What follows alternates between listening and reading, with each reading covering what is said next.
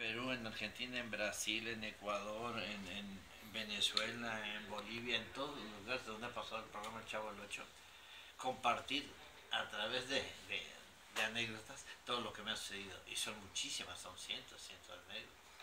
Pero sí, es, es bastante interesante todo lo que se ha movido dentro de las anécdotas. Hay unas que son muy crueles, hay unas que son muy dramáticas, hay unas que son eh, pues muy cómicas, hay de todo, ¿no? Eh, ¿Qué hay de verdad en todo lo que los medios internacionales andan diciendo eh, sobre lo que hubo con Florina Mesa? No, bueno, eso es ah, súper extrañejo y al que hacemos daños al niño que recién está viendo el programa.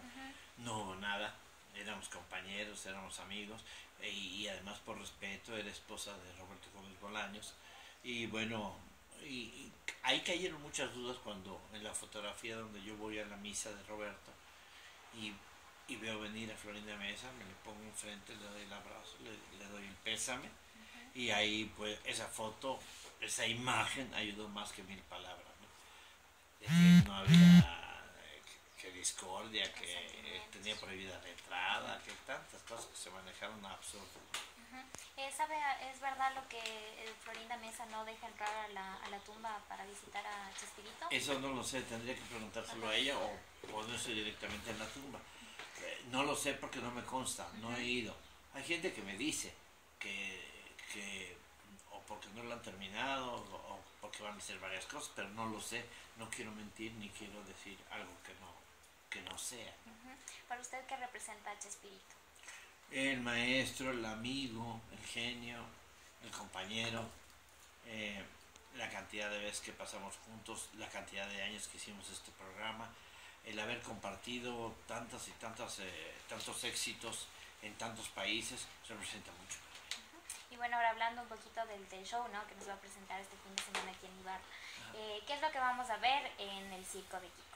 Van a ver al eterno Kiko porque no puedo hacer a otro. ¿no? Yo quería hacer a Arnold Schwarzenegger, pero como me faltan músculos pues no pude hacerlo. Entonces lo que van a ver es al eterno Kiko, al, al, torpe, al bruto, al que no sabe hacer nada, pero que hace reír a través de todas sus tonterías. Después de Ibarra, ¿a dónde va a ir? Después de Ibarra regresamos a Quito, ya hicimos Quito Norte. Y ahora vamos a Quito Sur, que es totalmente diferente, es pasando el túnel más allá, eso otro público totalmente diferente. Inclusive a los del sur les dicen efectivos y a los del norte dicen con tarjeta. a los del norte, Después de Ecuador va a ir a Perú y ahí va a finalizar. Y ahí, ahí termina el año y termina sí. Y después, eh, cuando se termine la gira, ¿qué va, a pasar con, con Kiko? Eh, Dios me, tendrá algo, le preguntaré. Eh, yo creo que me viene algo, siempre me ha, me ha dado manos llenas y en esta ocasión yo creo también, ¿no? Una invitación que quiero hacer a todos nuestros lectores para que lo acompañen este fin de semana. Queridos amigos, ¡Pasamos!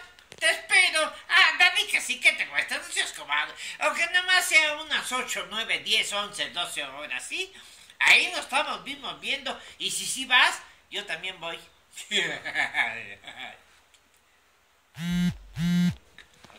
Gracias. Muchas gracias. Muchas gracias.